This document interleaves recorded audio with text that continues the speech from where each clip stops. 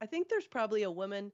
She's been listening to this conversation as we've had it. Maybe maybe she's been washing dishes as she's been listening or maybe she stopped what she was doing and listening and she wants to believe everything you've said but mm-hmm.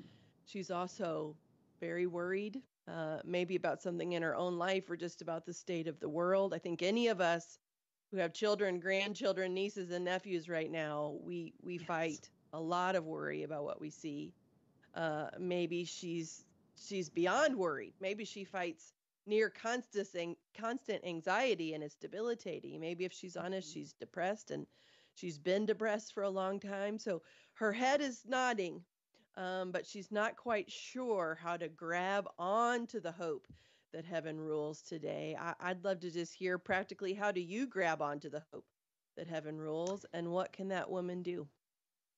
You know, Erin, it's a moment by moment thing. We want some great big mm. experience that will fix it all for us or transport us into raptures of glory and out of the problems of this world. But I think there are two directions we're prone to look one is within, and one is around. Hmm. But that never gives us hope.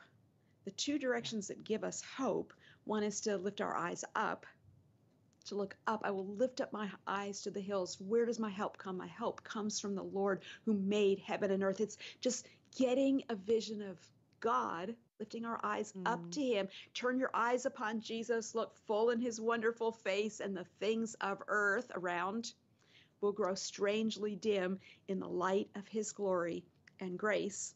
So look up. And sometimes that's just like stop, get on your knees and look up, get down, mm. look up. But then also looking ahead mm. and remembering that the best is yet to come.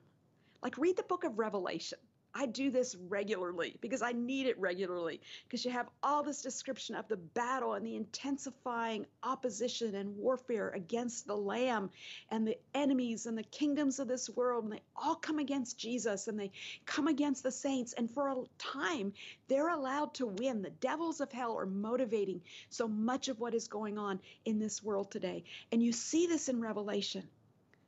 But as you look ahead, you see who wins.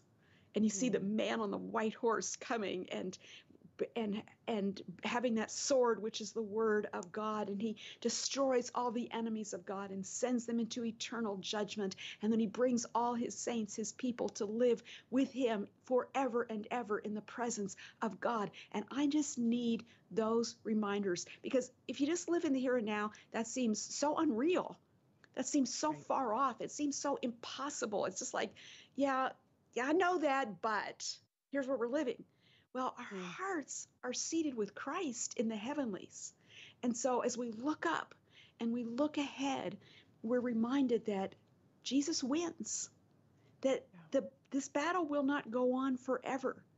That it will be won. The battle against our own sin, the battle to um, against false ideologies and opponents of the cross, that's all going to be over. And so it's not like we're just hanging on for dear life, you know, just like, get me out of here.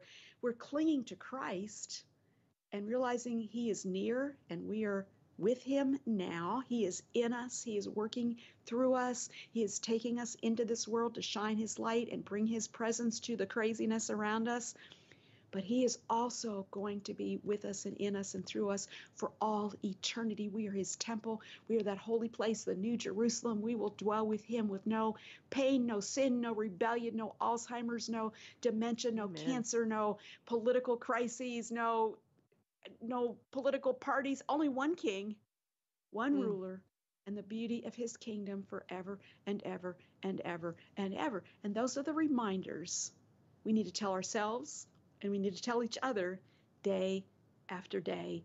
And as we do, we encourage our hearts in grace. We encourage each other in grace. And we walk and live in grace. And what is now sight, or what is now faith, will one day become sight. And we cling mm. to Him all the way to the finish line.